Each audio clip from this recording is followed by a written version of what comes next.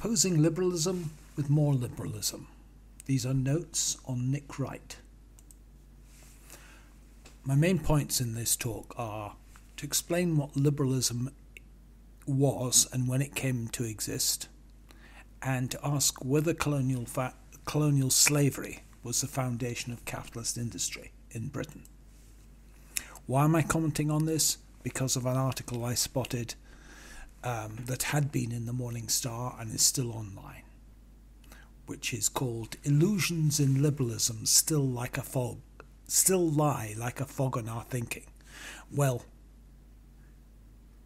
the author certainly has a foggy mind and has a lot of illusions. The author's called Nick Wright. The thrust of his article is he is saying liberals are outraged at Braverman's immigration policy. Fair enough. But he says liberalism slides easily into right wing authoritarianism. And he cites as an example of that Orban, who originally presented himself as a liberal. And he says we must oppose the mystification which hides liberalism's shared heritage with the atavistic values of colonialism and slavery, which is the source of capital accumulation in every European and North American state. I can scarcely think of a more ridiculous piece of nonsense for a communist paper to have published. Now let's look at this. Slavery is the source of capital accumulation in every European and North American state, he says. Well, this claim has absolutely nothing to do with Marx's analysis of capital accumulation. He's starting off from a naive, liberal idea of what primitive accumulation was an accumulation just of money. And he lines up with what is actually a major thread of US Democratic Party liberal ideology. In order to argue against liberalism, Nick is accusing of some it of supporting or economically relying on slavery. Now there are two objections to this. One is that it's historically inaccurate, completely inaccurate. But worse than that, it accepts the actual moral foundations of, Christ- of liberalism. And he then criticizes liberal capitalism for allegedly resting on a hypothetical, uh, hypocritical violation of these moral principles. Now, this is very different from the Marxian position, which is that capitalist exploitation arises from the very enforcement of liberal principles of freedom, equal right, rather than their violation. The whole point of Marx's Capital was to argue that. Now, there's also awful confusions about when did liberalism arise. He talks about the golden age of liberalism coinciding with slavery. Well, the golden age of liberalism was under Gladstone, long after slavery had been abolished. Oh, what are a couple of centu- centuries? This is from Nick. He says, in his considerations on representative government, the English liberal, John Stuart Mill, conceived of the British Empire in particular as a guarantee of friendly cooperation among nations. He was writing at the height of British imperial supremacy and deep into the Industrial Revolution, a revolution capitalized by slave labor that gave Britain its head start in global warming. Global warming? Never mind. Mill's evasion survived neither the 19th century conflicts with the French, Dutch, and Spanish rivals or the 20th century challenge of a rising imperial Germany. I mean,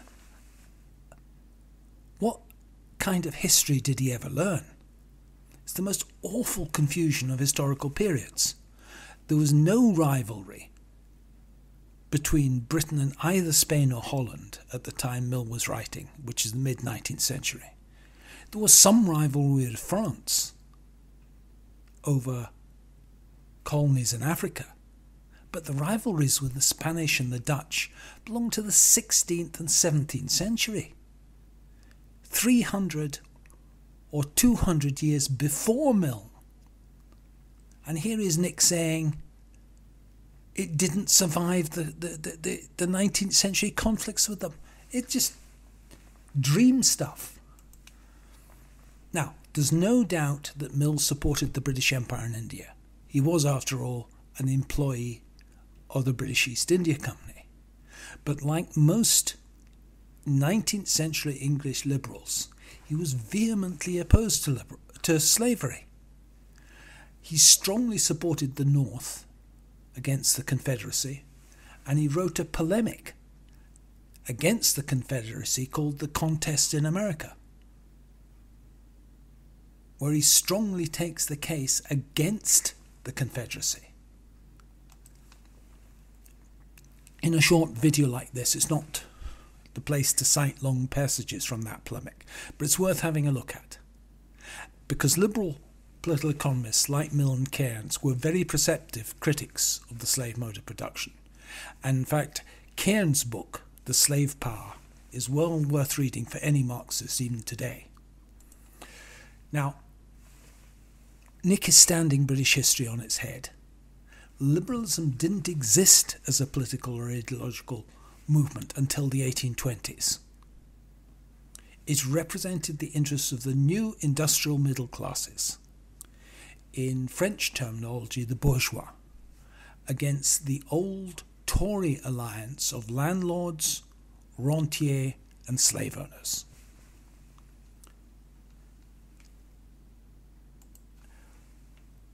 This is Google Ngram uh, data showing when the word liberalism appeared in print. And you see, it doesn't start appearing in print until just before the 1820s it takes off just after the abolition of the slave trade, and it peaks for the first time when, the, when slavery was abolished in the British Empire.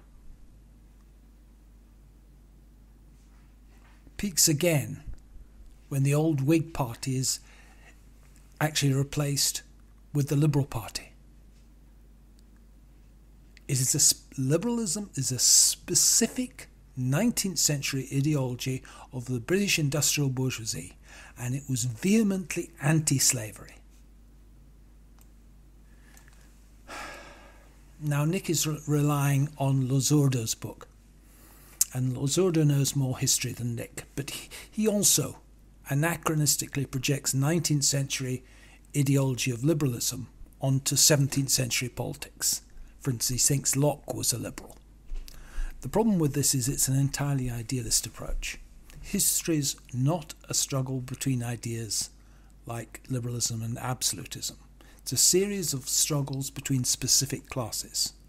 And these classes may pick up ideas that were advanced by long dead authors uh, to, as justifications for what they're doing now.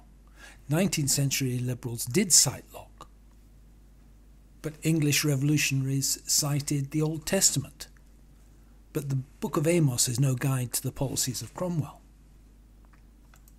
Now let's look at his other assertion that slavery built the Industrial Revolution. It's a left liberal trope, which is an empirically false one. Why is it liberal?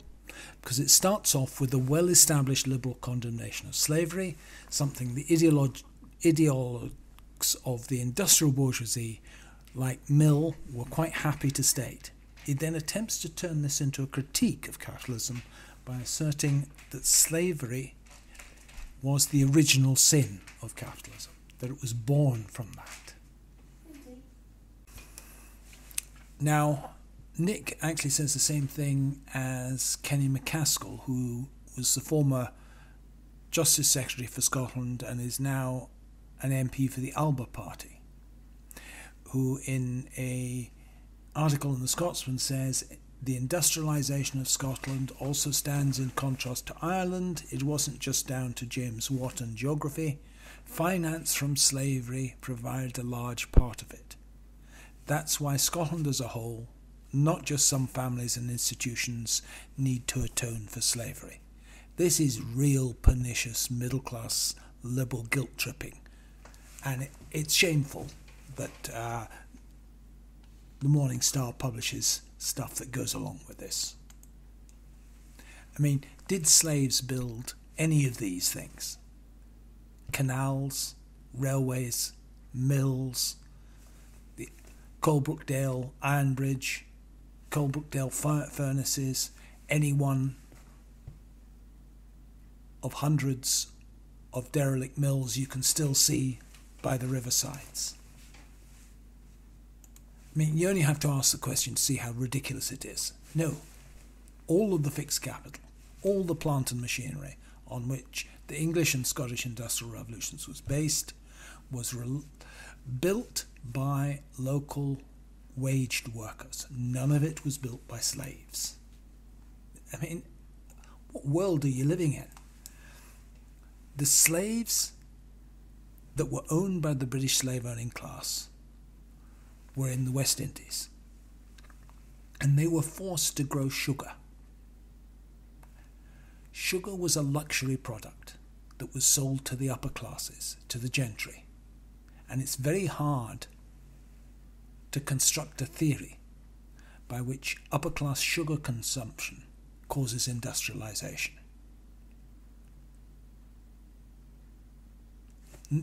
People like Nick and Kenny MacAskill don't even attempt it, they just assert it. But as soon as you try, try following down the implications, you see how absurd it is. Let's look at the scale of it. British sugar imports in the late 18th century, coming up to the start of the 19th century, were running at about 40,000 tonnes a year. Now that sounds quite a lot, but for a population of 10 million, which is roughly what it was then, this is equivalent to about two teaspoons a day per head. Nowadays, we eat about 10 times as much as that, equivalent of 20 to 30 teaspoons per head. Now, we don't take it all in tea. We obviously have all sorts of sweetened foods, and it constitutes, therefore, quite a considerable number of calories per day, maybe of the order of 400 calories per day. If you go back to the 19th century, start of the 19th century, it would amount to about 40 calories per day across the whole population if the, the sugar consumption was equally spread across the whole population. Of course, it wasn't. As a luxury good, it was mainly consumed by the gentry and upper classes. Now, as a thought experiment, suppose the EU gave Niger free for 40 years or 50 years two sugar lumps per head of population. Would that cause Niger to become industrialized? Obviously not. To industrialize, they would need machinery. They would need capital goods. Why then were these sugar imports supposed to have caused British industrialization? There's nothing magical about sugar. The fact that sugar is produced by slaves doesn't give it any potentiality to be something other than sugar. Finance from slavery is MacAskill's answer. Well, there's no doubt that some slave owners could become rich from sugar sales, but where did that money come from?